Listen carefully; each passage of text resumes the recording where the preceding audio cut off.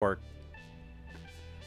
Uh, will trains derail if they run out of track? Uh, if so, does momentum apply when they derail? No, they don't derail if they run out of track. They just like stupidly stop still. Yeah. Just like blip.